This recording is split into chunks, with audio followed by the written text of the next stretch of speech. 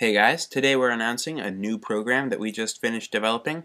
It's called Jailbreak Nation Downloader and basically what it does is it allows you to select your device and your firmware version and see all the jailbreak tools that can jailbreak your device and then download them straight from the app.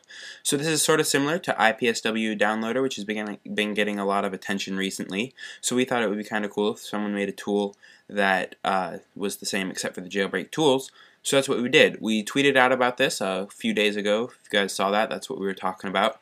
But yeah, we just finished it and went through all the bug testing and everything, so it works now. And this can be downloaded on our site, link in the description to get to this post with the link right there. And one thing to note is that this is only for Mac right now. You can read through the whole post. It summarizes a lot of what we're going to be saying in this video. But if we get a positive response from this, then we're going to be porting it to PC as well maybe Linux too. I'm not sure too much about that. But um, so yeah, if you got leave a comment telling us what you think about the app, and here's a quick demo of how it works. So here it is, uh, just like you see in the picture there.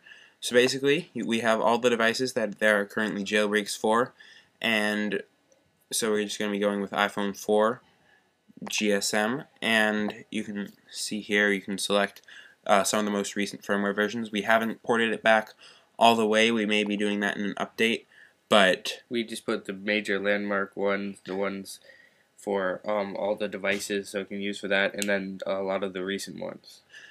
So one thing that we like about this app is the way we've done it is that you can update the available jailbreaks without updating the app. So it allows you to get the most recent info very, very quickly without having to go to a new page and download the app again and replace it.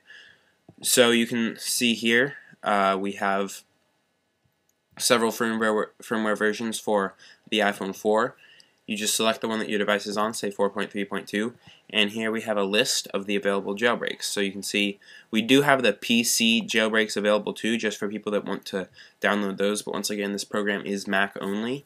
So we're just going to go ahead and download Redsn0w RC14, and just go ahead and hit download and it'll ask you where you want to save it. We're just going to save documents, hit save, and in a couple seconds it should start the download.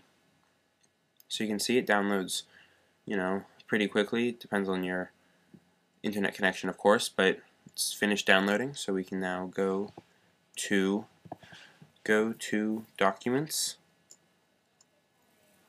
and you can see Redsn0w Mac RC14. So it's very, very simple and easy to download the jailbreak tools. Uh, so yeah, just check out the post down in the description. And if you like it, share it on Facebook and Twitter, and that's also on the bottom of the post. Yeah, just go and tweet it out, like it on Facebook, just to help us spread this app around. But that's all we have for now. Thanks for watching, and please subscribe.